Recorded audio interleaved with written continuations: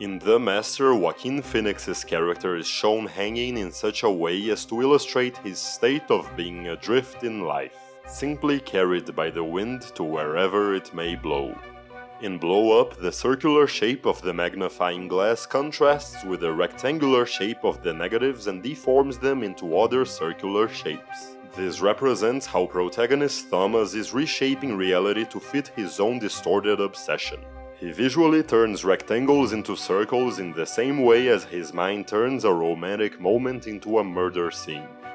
In the shot from Vertigo, the patterns over the fireplace are similar to those created by the curtains. This visual repetition fits perfectly with the movie's plot. The curtains represent Scotty's relationship with Madeleine, which was genuine and free, while the fireplace stands for the hard, stony and etched relationship between Scotty and Judy.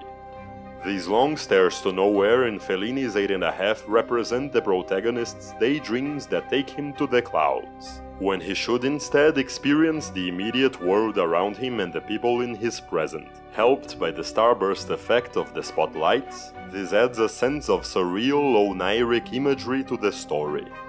In Andrei Tarkovsky's masterpiece Stalker, sand fills the screen all the way up to 65% of its height. This symbolizes an hourglass, emphasizing how trapped the characters feel and visually representing how much of the movie's runtime has elapsed, being this shot at the 1 hour and 45 minute mark, precisely 65% into the film.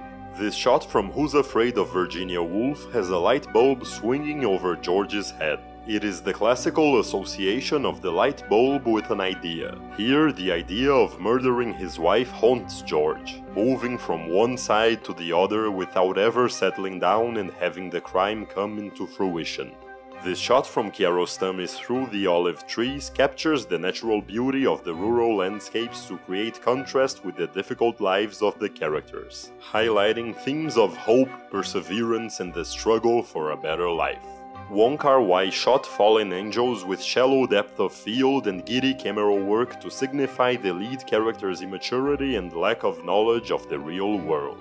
The presence of nature in the Sound of Music's opening number alludes to the ancient history of the Alps region and therefore suggests the violent conflicts between the Romans and the Celts, implying the conflict that will appear later in the story. Here in Dreyer's Day of Wrath, smoke represents humanity leaving the earth as the witch trials are carried out.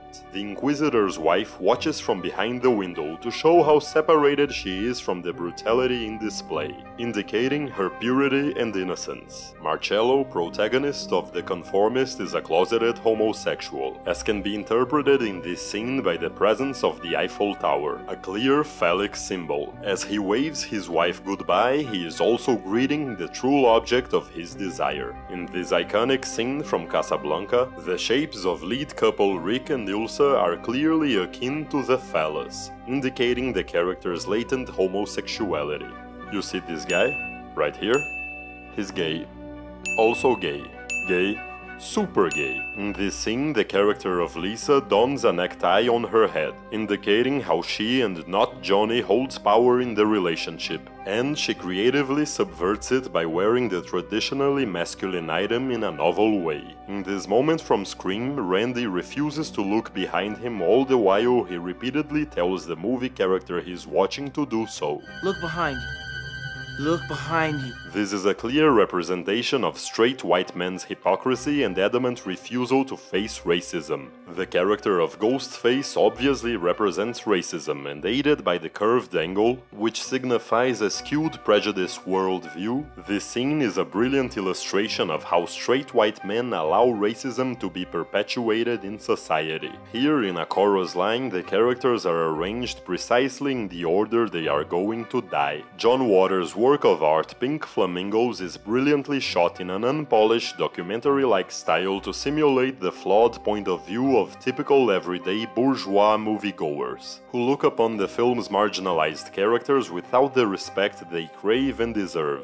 Here, characters are faced by the camera at an angle of 56 degrees, being 56 the periodic number of barium. Look at how Matt Damon looks at that piece of paper. It's like Charlemagne facing the Magna Carta. If you don't cry, you are not a human. This painting here represents loneliness. This one, effectiveness. This one is conciseness, this one constipation, and this painting stands for the Polish Constitution of 1997. And together they combine to form the ghost of Alfred the Great.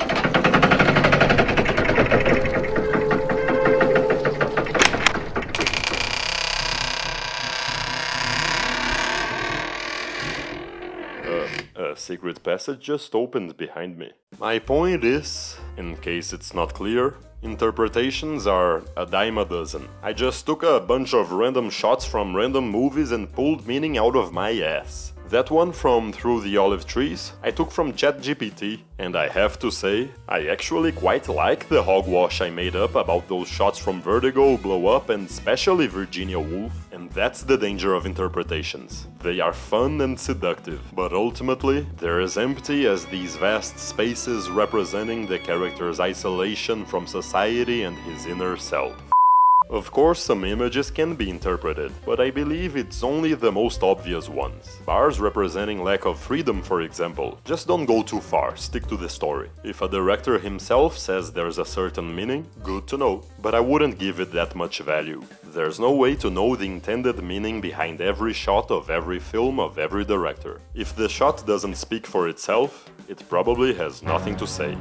Don't be Freud or Robert Langdon. If you look for meaning, you will find it. The best we can do is just point out what's on screen and what's the story. And trust me, that's perfectly good enough. Oh, and that crap I made up about the sand in Stalker. I did the math. The sand really does go up to 65% of the screen's height, and that shot really does come 65% into the runtime. I don't know what to do with that information.